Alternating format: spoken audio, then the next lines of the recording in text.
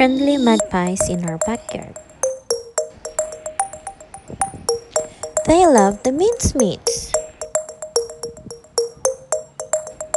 They always come and visit us every day. Other people are scared of them because they swoop at you during the mating season. But because they trust us that we mean no harm our backyard freely. And we just leave them alone. We greet them every time we see them. Sometimes they greet you too, probably asking for food if they're hungry.